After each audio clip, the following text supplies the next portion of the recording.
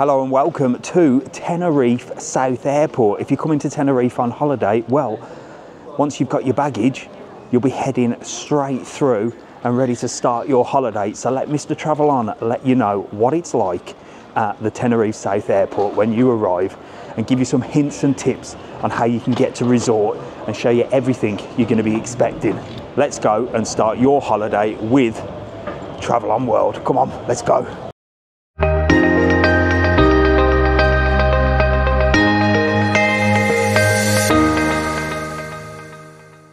So you might come through arrivals A or B, and uh, well, you've either got a tour operator with a transfer, or you've hired a car, or you're making your own way, or you're getting a taxi. And if you've hired a car, look, lots of queues, always queues at the car hire place. Now we booked with Sanasty, uh, really, really simple. Went online, they sent us a quote, we ordered it, booked it, keys are waiting for us, they've told us where they are, car's waiting for us, and that's it. No queuing, straight off. We know exactly where we're going. We're going to hop in that car and head into resort. But whatever you've got booked, this is what you do. So, like I said, you'll come through arrivals A or B, depending on where you land and which tour operator. Look, but you can see tour operator reps are waiting for you. TUI, Jet2, they're all here. And let's do this bit first. Look, this is if you've got a transfer with one of the tour operators and if you've got a car hire as well. It's just over the road, which we'll show you in a minute. But look at that. Look at the sun. Oh, the smell, the sun hits you. You're excited. You're going to be a little bit stressed, but don't you worry about a thing. And this is where all the buses are, look. So your tour operators will tell you which bay number they're in. So if you booked a transfer with one of your tour operators, they will tell you that. If you want to get the local bus look, it's in bay 30, 31, 32, 33 and 34 I think. And I'll show you what the local bus looks like. Very popular, look. They're green, they're called Titsa. And this is where you get them, look.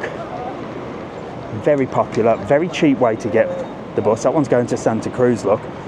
And there's a little sort of map here which shows you everywhere they go. But you can have a look online and get yourself organised beforehand. Maybe I'll do a video to show you. So that was tour operators and where the tour operator buses are and the local bus. But what if you want to get a taxi? Well, before I go and get my car from Sanasty, which is just in the car park opposite, I'm going to show you that in a minute. Uh, let's go and show you where the taxis are because they're just up here out the door. So here we go. This is where you get the taxis. You come out of this door here. So instead of turning out where I turned, where the tour operators are, you come out here, look. So it's just by arrivals. And there's a little ramp there. You pull your case up here and you're rocking and rolling, aren't you? And this is the taxis. Now, usually there's quite a long queue for the taxis. They are very organised and there's plenty of them, but sometimes you do have to wait.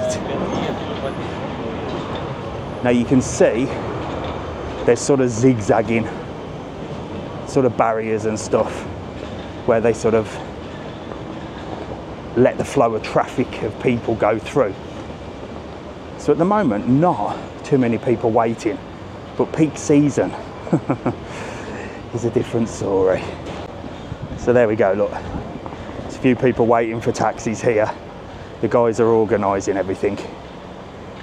So it can go quite far up that way. So you might be better off booking a transfer or hiring a car for sure. And hiring a car gives you a bit of freedom as well. And talking of cars, well, I've shown you where to get the bus, where to get your transfer, where to get the taxi. Now, I've got to go and get my own car and start my adventure in Tenerife. So come on, I'll take you and show you where you get your car from if you've hired one. So here we go, car hire this way. And we'll be heading straight down here. Now, Sanasty told me my car is in Bay 3B. They've told me where the keys are, they've told me where everything is. And all I have to do is get in it, so come on. But it shows you here, look, where all your car hire places are it's all it's all signposted. It's all in English. You're not going to struggle. Just be careful across the zebra crossings as well, because I know what happens when you come on holiday.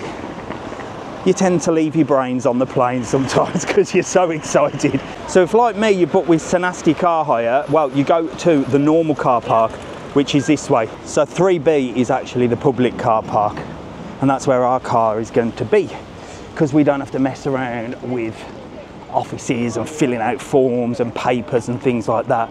We are literally heading straight there. Come on, let's go find it. So you can see just how many car hire companies there are. And it is like navigating quite a lot. I mean, not only do you arrive and have the long queues to wait in, then you have to fill out all your forms. Then they're more than likely going to try and upsell you with all sorts of sort of extra insurance and, and things like that. I mean, traveling in itself is stressful, I find. And the last thing you want when you come on holiday is stress, do you? It's a Volkswagen Taigo. I think the number the registration started was 1938. So let's go find our car for our adventure in Tenerife. Come on. This looks like us. Lovely. So we received an email with the exact location of the car, where the keys are, where the contract is, where everything is. So you don't have to worry about anything. All you have to do is come and pick the car up. But Mr. Travel On is going to give you some top tips on car hire, whether it be car hire in Tenerife or anywhere. And this is what you do. Now the insurance with Sanasty is all included as well, so you've not got too much to worry about. But whatever car you hire and whatever company that you go with, always just give it a little check round. You've all got mobile phones. We're in the world of mobile phones. Take a little video. I mean, this one looks absolutely perfect, doesn't it? I can't see a mark at all. Well, some cars um, and car hire companies, you can have sort of slight dents and scratches. So it's really important that you check everything before you leave so that you've got record, time, date stamps of when you checked it so you, they know that you didn't put that mark on because they could charge you for it. So let's get the boot open. Wow, spotlessly clean. It's got, what I like about a car hire is sometimes you get cars and they're like really battered and horrible but this one as soon as I open that boot has got that sort of new car smell I do like that when you come on holiday it just makes it better doesn't it right bags are in let's go. Okay look at this. It is spotlessly clean look. Absolutely beautiful. And all sort of electric look with the uh, beautiful screen there. Oh look at that. Look at that. There you go. We've even got a bit of music on. Look at that. These are new cars, which is fantastic. Now, I've had cars before from other sort of big car hire companies, and they're quite old. This is brand spanking, look all digital. It's more advanced than mine back home. So Sanasty said everything will be in the visor which if you're a workman back home, well, you know you stick all your receipts in there, don't you? and you've also got the car park to get out of the car park. Now, if you hire with another company, obviously you don't have to pay the car park, but with Sanasty being an independent company, well, they park in the in the local car park, so you do have to pay. And I'll show you how much it is. It's next to nothing anyway. And to be honest, the time that you save and the hassle that you're going to save is going to be worth the price. Let's go and get out of here and I'll show you how much it cost. So I was going to head off and I thought, hang on a minute, I am Mr. Travel On, I'm full of tips and information. And I think the more sensible thing to do is actually go and pay for the car parking first because you know what happens in any car park. You have them people that haven't paid their ticket and they're holding up the traffic. And that's the last type of person I want to be. And do you know where you have to pay? Well, literally right next door to where the car is parked. Just here, I think. Here we go, look, just over here, look. Pay for your car parking. We were in 3B. This is in number one, so it's just two bays down. Four euros 20. So that's not too bad at all compared to the UK car park, is it? And like I said, the amount of time we've saved is definitely worth that investment. Now you can pay cash. I would suggest having some cash with you, some coins or notes. They do take notes as well. And you can pay card as well. So you can pay card on this occasion I'm going to pay card and I think that is all done there's my ticket and I think that's it so with ticket in hand or ticket in mouth let's get going so I'll put my ticket back in case I lose it on the way to the exit always be prepared and listen to that oh The purr, the purr. Well, there's very little noise at all, is there? Silence. Right, let's go. So here we go. This is certainly more advanced than Mr. Travelon's wagon back home, look. You've got all the uh, reversing, tells you absolutely everything, video. I'll be honest with you, first time I've driven a car with this feature. I quite like it. I might just park the car up and have a nose at what people are doing as they walk past me. But come on, look, someone's waiting for us. Let's get out of here. Right then, before we get on to the TF1, a little top tip. Our tank is full, but there is a petrol station right here. Now, I am sweating. I thought, bloody hell, it's seriously hot here. And then I actually looked and realised I didn't have the aircon on. So we're fully air conditioned. Oh, and it's powerful and it's cold. But this is an ideal little pit stop before you head off. Grab yourself some water and grab yourself some snacks because, well, you don't know when the next one's going to be. And I'm sure everyone will need something. So I'm going to park here and get myself a bottle of posh water. So these petrol stations will actually do everything. They're really good actually. They do loads of stuff. You got crisp snacks, water, and I, I tell you what, I am thirsty. And I'm gonna get big bottle of water for one euro and five cents. That'll keep me going, won't it? There you go, water in hand. Now we can get onto the TF1 and get going. But another little thought I had, some of the car hire companies, I've hired cars before, that actually leave you on sort of an empty or almost empty tank and just say, bring it back empty. I'd rather have a full tank and bring that back full rather than an empty one because you're going to have to stop off here and fill up anyway. But if you do need to do that, well, you know, it's just out the car park and you just pull in and straight into the Diesel petrol station. Let's go. So what things can you do if you hire a car? Well, it's ideal to get yourself out and about. You've got that freedom. You can get yourself out to all the different resorts. If you want to drive along the coastline, diff different beaches, different places, different little villages, it's perfect. You can also drive up to Mount Teide. Now, don't get me wrong, Mount Teide is a beautiful drive. And as you know, Mr. Travelon sells all the tours and excursions up to Mount Teide. Now, would I drive up to Mount Teide if I was on holiday? Yes, possibly, but I'm used to driving abroad. Um, the thing that I find about driving abroad and not doing a tour with a guide is this. And there's two things. One is I'm driving now and all I'm doing is I am focused on the road ahead. I'm focused on where I need to go, what I need to do.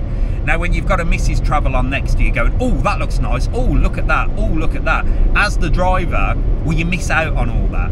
So, in my opinion and my advice, I would book a tour up to Mount Teide. You can do half day tours that will take you up there, and then at least you'll get to see all the amazing sights and you'll get to experience Mount Teide with a guide who can tell you everything that you're looking at as well. Because that's another thing about driving abroad and seeing all the different sort of um, places to see, especially if you're driving or a passenger.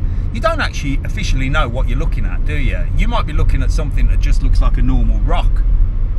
And uh, it could be a very famous rock. so that would be my advice. Definitely drive up, um, like to go and see the sunset and things like that. But if you want to do Mount Teide, I would certainly book a tour.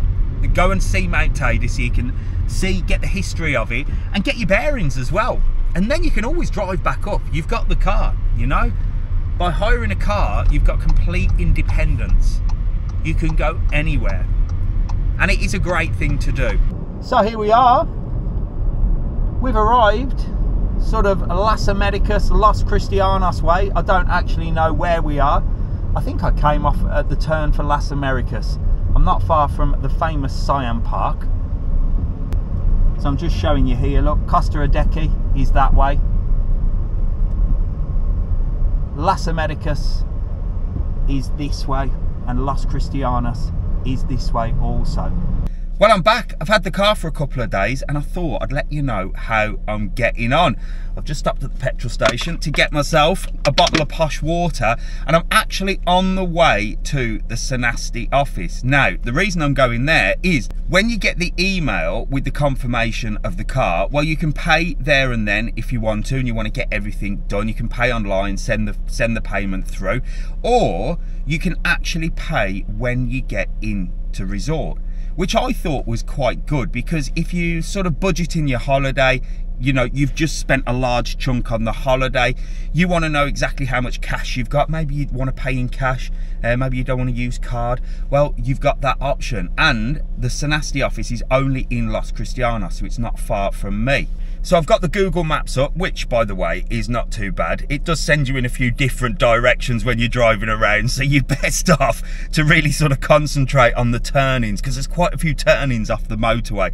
But I've got the map location set up for Sanasty office. And the reason I'm going is because if you didn't know, Sanasty is actually owned by quite a big YouTuber in Tenerife called The Night Strider.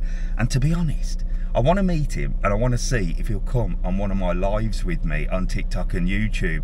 Um, so I want to grab him and say, come on, let's do a little bit of uh, a collaboration and a few videos together. So you might be seeing a little bit of Andrew, the Night Strider, in my videos, fingers crossed. And another reason is I'm a nosy Parker. You know me, I like to nose around, see what's going on, and I've seen him on YouTube, and I want to go and have a nose, see what he's up to. So come on, let's go to the Sanasty office, pay our wedge, pay for our car, and uh, hopefully meet Andrew. I hope he's there. Probably be somebody in the office, won't it? He'll be off. He'll be off filming somewhere.